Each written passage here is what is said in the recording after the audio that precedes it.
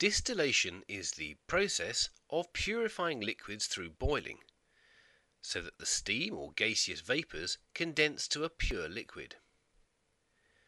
In this experiment, we're going to use distillation to recover ethanoic acid from vinegar. Here is the apparatus, the flask, the thermometer, and the Liebig condenser. The Liebig condenser cools the hot vapor and changes it into a liquid. The hot vapor goes in here through the inner glass tube which is surrounded by a cold water jacket.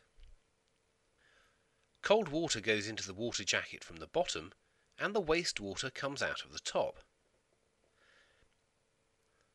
The vapor and the cold water never mix.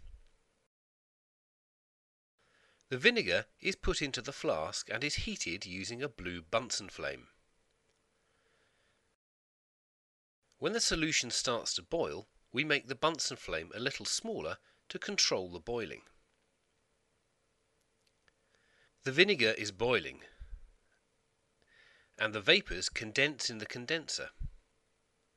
The ethanoic acid comes out of the condenser here into the flask below.